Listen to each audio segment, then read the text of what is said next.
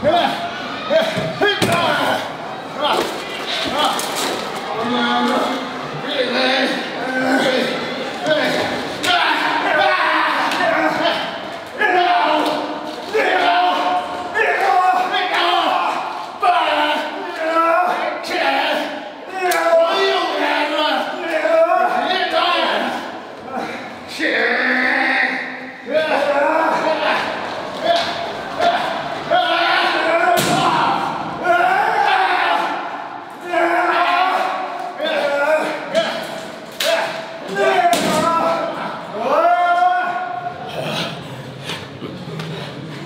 けるわけにはいかねえって言ったよな。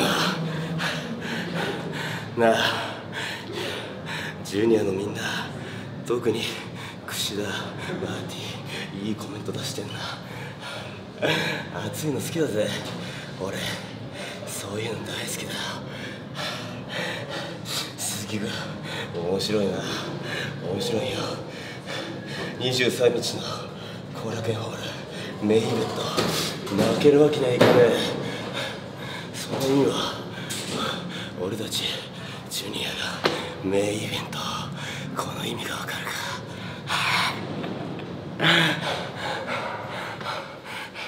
俺たちが必ずジュニアをてっぺんにあげる。だからさ俺とブスさんがてっぺん取るとお前ら見に来いよ。なあ。そしたら叫べるぜ。こんな風に。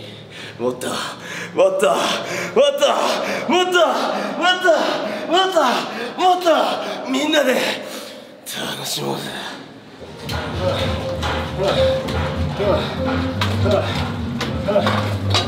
はい残念でした。おいおいおいキリギリスよどこ行ったよおい。ブッシー昨日お前昨日言った通りだろお前100回に1回昨日使ったからよノブさんピンピンしてんだよこの野郎。おいロスインゴおいてめえらのハッピーエンドで終わらねえからな。おい覚えとけ。おいざまあ見ろ。今日来た客もそうだろ。おい。あすげえよお前ら。すげえよ。こんなに強かったかお前ら。あ最近ビビったよ。任してくれああやって大将もヘビに行っちまったからな。おい鈴木軍のジュニアが薄くなったと思ってんだろ。いくらでも引き出しあるからなおい。ここが違うからよ。ここが。あよく見とけよおい。素晴らしい。よだってバカどもに教育は？そんなタイトルマッチ。心してかかってこい。あと武士お前シングルマッチも決まってたな。今日の感じでどう感じるかなシングルマッチ楽しみだぜ。もちろんその前のタイトルマッチだってな。